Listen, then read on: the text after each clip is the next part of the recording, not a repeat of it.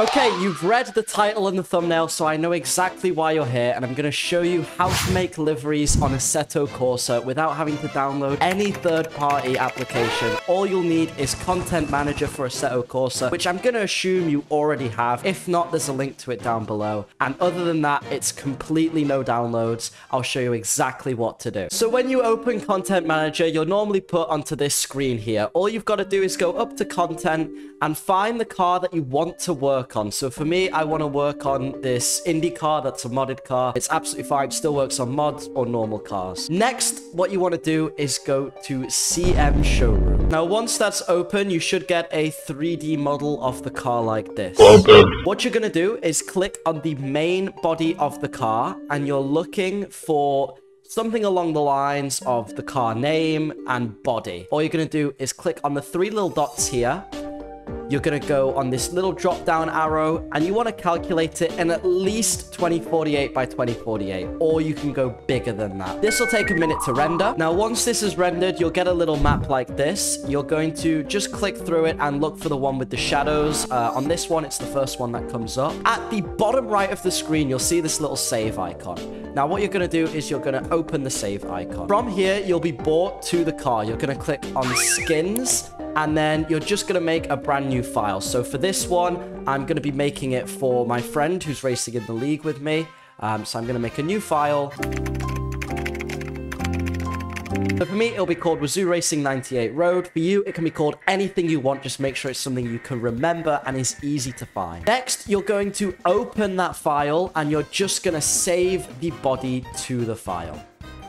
Now, you've got the DDS saved. The next step you're going to have to do is save it again under the same folder with the same name, but this time you're just going to save it as a PNG instead. Okay, after that, you're going to go onto your Google Chrome and you're going to go to a website called photopea.com. Now, this is a completely in-browser version of Photoshop that is completely free. I'll leave a link to it down below, but it is super useful for anything Photoshop. You'll click New Project. Under here, you're just going to call it whatever you want. It doesn't really matter. And you've just got to make sure that the pixels are 204080 by 2048 and then you're going to create a new one. What I want you to do is hide the background, and then you're going to go to your folder and find the card that you've just saved. Find the AO map you've just saved. So usually this lies under Steam Library, Steam Apps, Common, Assetto Corsa, Content, Cars,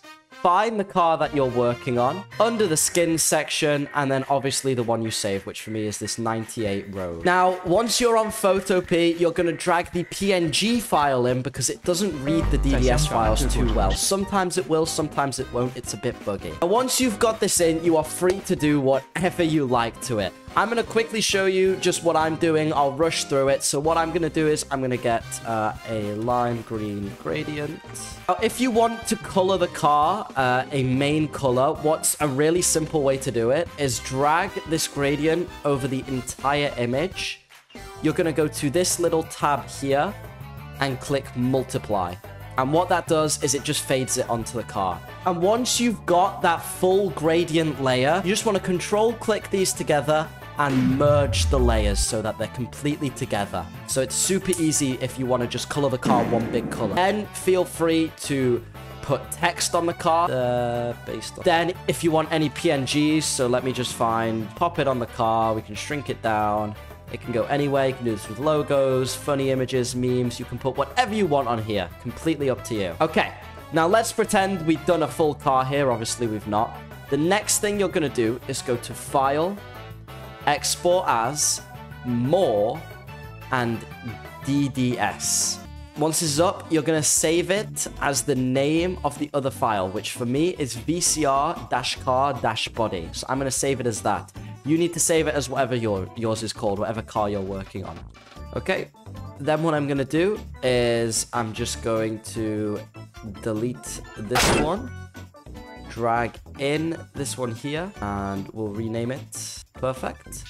And if we reopen Content Manager, so now if we go back on Content Manager, you'll see this one here with no preview. Um, the there is a way to get the previews. It's super simple. If you just go to the bottom here, click update previews, and there you go. Once it's updated the preview, you can see it there. You can open it in the showroom, and you've got all the stuff that you put on on. We've got white, we've got base, we've got 98, and the color of the car. Oh, that is exactly how you update liveries. There's one last thing you may want to know, a little bonus feature. These numbers up here, the way to update them is super simple. All you're going to do, if I show you in a file I've already done, is it's just called livery. It's a PNG file. The dimensions are 64 by 64. As long as that's in there, that'll show up on this content manager bit here. So that's just called livery 64 by 64. I'm sure you can make that in Photopea on your own. I'm not going to waste any more of your time. Hopefully you found this video useful. If you did, please give it a big thumbs up. Check out some of my other stuff. It's really funny. And I'll see you all later. Bye-bye.